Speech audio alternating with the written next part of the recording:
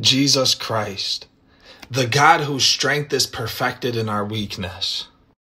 Today, we're going to dive into a quick Bible study about why we can't let our weakness keep us from serving God. We're going to talk briefly about a man named Bartimaeus in the Bible. You can see right here it says, Then they reached Jericho, and as Jesus and his disciples left town, a large crowd followed him a blind beggar named Bartimaeus was sitting beside the road.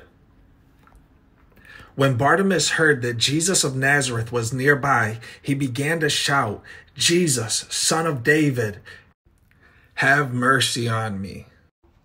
We're talking about a man with severe issues he can't see, but he knew if he called on the name of the Lord, that God could heal him. People were telling this man to shut up. They were yelling at him to shut up. But you know what Jesus said? Jesus said, Bring him to me. Bring him to me. The Bible says God's strength is perfected in our weakness. So we got to stop using our weaknesses as an excuse not to follow Christ. And we have to take God at his word. We have to take God at the word of the Bible and just have faith that he is true. After that, Jesus heals that man, restores him, and that's the same God that wants to restore us. It's the same God that wants to heal us. So many times we feel like we're waiting on God to do something in our lives, but God's already done so much. He's waiting on us.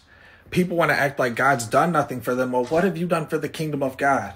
Are you reading your Bible? Are you praying? Are you repenting? Are you praising? Are you rebuking the devil in Jesus' mighty name? Are you sharing the gospel? Are you being active in your Christian lifestyle? Are you sinning? I mean, the list goes on and on. We have to live an active lifestyle as Christians, and we got to serve Jesus actively. We're going to finish up today's Bible study with a prayer, but I want to remind you that God is ready to meet you where you are. God loves you. God wants you. So call on the powerful name of Jesus, the name above all other names today, and give God some praise no matter where you're at in your life. Let's pray. Lord Jesus, I thank you for your love of whoever's watching this video, God. I thank you for your love of me, Lord. I pray you would be with us today, Lord, that you would give us wisdom, guidance, discernment, blessings. Lord, I thank you for everything you've done. Forgive us for all of our sins, everything we know we did or we didn't know we did, God. We rebuke the devil in Jesus' mighty name, I pray. We rebuke depression. We push back on that force of darkness. God, I pray we would have deliverance today. Lord, you say your strength is perfected in our weakness, so perfect your strength in us, God. Show us how to follow you better. In Jesus' mighty name I pray. Amen. I love you guys so much.